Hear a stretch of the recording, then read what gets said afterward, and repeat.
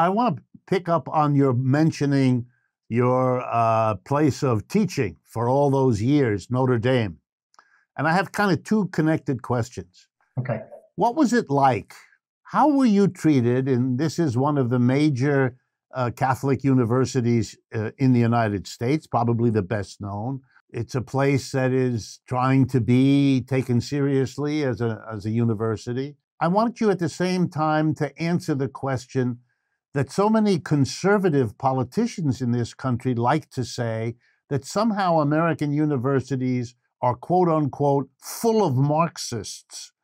And I want you, because you actually worked in one, uh, to tell me whether there's any sense to what they're saying, and also what was it like to be a professor in an American university like Notre Dame with the interests and the scholarship that you've devoted to being a critic of capitalism?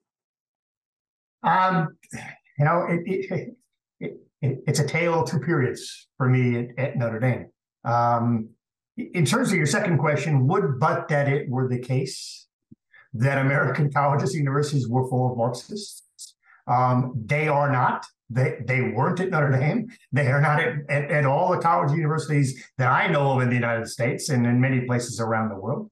Um, they may be liberals um, of a kind of American traditional liberal thinking. Um, they are in many ways critical of what exists out there right now. Maybe, maybe that's, you know, certainly more liberal than the general population. But they're not Marxists in any way, shape, or form. They they they, they are not. They have not read Marx. Um, and when I would raise questions, they would look at me like, "What what what are you talking about?" Uh, they hadn't gotten it in their own education. Notre Dame hired me as a Marxist. Um, got my PhD at the University of Massachusetts in Amherst, right, where you taught. Um, they knew exactly what my background was and what my research was on uh, which was time on, on socialist planning and various forms of socialism around the world. And that's why they hired me. And it was interesting because this was one of the few economics departments in the country, still a majority mainstream economist, who prided itself on being an eclectic department. They wanted a little bit of everything. They wanted neoclassical economists and Keynesian economists, but they also wanted post-Keynesian and structuralist and, and pro-labor and in my case, a Marxist economist. They thought that I kind of identified with the Catholic social tradition. And so we did, for a couple of decades, have a thriving economics department in which faculty could conduct their research and teach their courses, and students would get all kinds of different stories or narratives about what capitalism was about different criticisms of capitalism, different criticisms of mainstream economics, and some of the alternatives. And then things changed. And what changed was not just at Notre Dame. What things changed was American universities, what I call the new corporate university. And Notre Dame was certainly part of that. And it is interesting for us in economics because economics is taken to be one of those key disciplines. They don't really care about literature. They don't really care about any anthropologists. They really care about economics.